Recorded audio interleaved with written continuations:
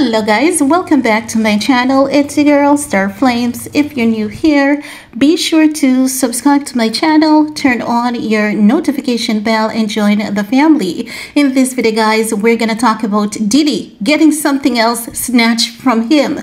More major fallout for Sean Diddy Combs. And honestly, based on this report, because we're, we, we have gotten what, three reports in the last four days about Diddy and it's really given the sense that there are things happening behind the scenes that his legal team might be trying to control. And as such, I think we're going to hear more about him. As I've been telling you guys, do you guys remember the last video that I did on Diddy a few days ago? I said to you guys, we're going to hear more about him before the week ends. Well, I'm going to tell you that I do believe that something major is coming up with this guy. And as such, we're going to hear something really heavy, something that we're prepared for, but yet not prepared for. Anyway, let's get into this report that is coming out from TMZ. Now, if you guys remember, back in 2016, Sean Diddy Combs was appointed Diddy Day by um, Miami Beach Mayor Philip Levine, and that was back in 2016 during the Revolt Music Conference. So that is what is being taken from him at this point. So according to TMZ, they're saying that the new fallout for Diddy from the Cassie video and sexual assault allegation allegations. The Miami Beach Commission is revoking Sean Diddy Combs' day.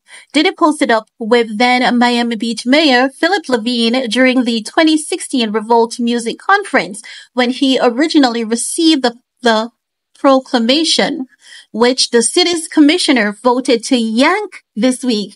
So they yanked that issue from him.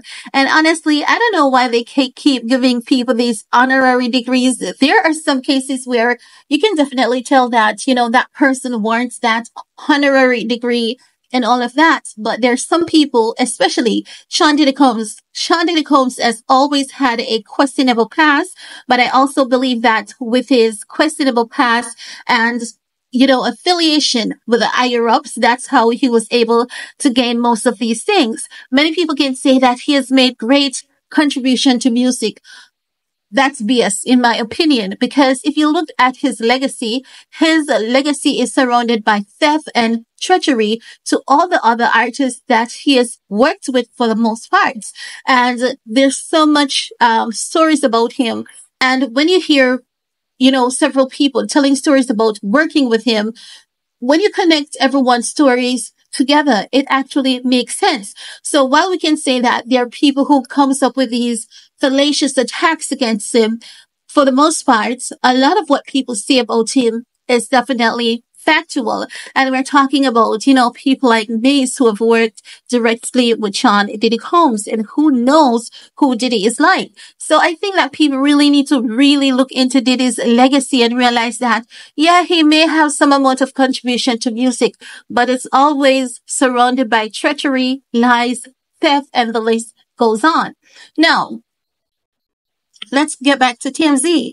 TMZ saying that Diddy received the proclamation in October of 2016, just seven months after he was caught on surveillance video assaulting ex-girlfriend inside an LA hotel. Of course, the general public and certainly not the city of Miami Beach knew that that had happened until the video came out this year. So what this is proving is something that we've seen and heard Sean Diddy Combs saying on record when he said he always gets what he wants and he has to get what he wants. And people will say that, you know, Cassie was with him for money and she could have gotten out if she wanted to.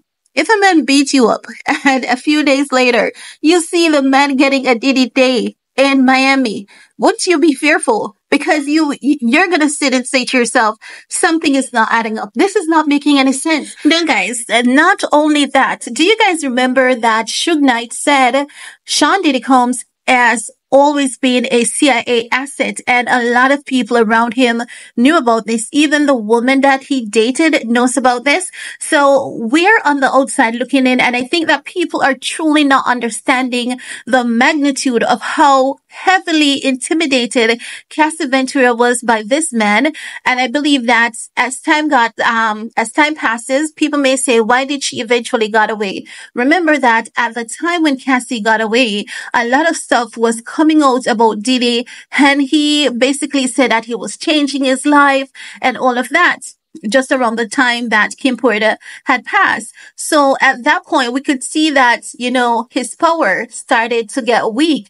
And I believe that Cassie saw that and realized that, okay, he's trying to make a change. Something is coming up. Things are not really, really looking so good for him as it once used to a couple years ago. And I believe that she also you know, finally got the strength after talking to a few people to actually leave and leave in the sense that it could not come back to, you know, intimidate her, bully her, beat her, assault her, or do any of that ish to her.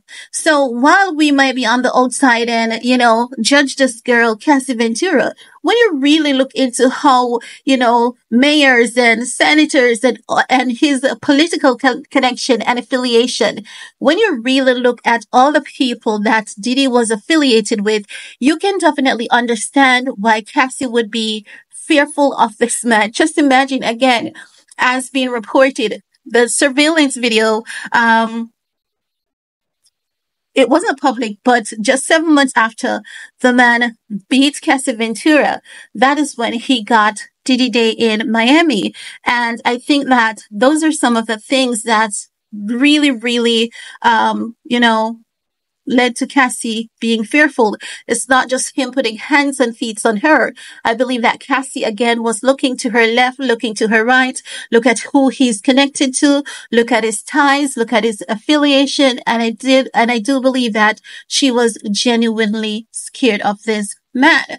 No, Diddy Day has been revoked again, as you guys know. Guys know he, um, they have revoked the key to New York City and a lot of other things. He has um, the honorary degree has been revoked from him as well. So he has been getting hit back to back. And as I've said to you all, I definitely believe that something heavy is about to come and everyone who can cut ties in whatever way they can are just making sure they are in the clear from this man, Sean Diddy Combs. I do believe, again, I said it earlier, um, a few days ago. I said we're going to hear more in the next couple of days. Here it is.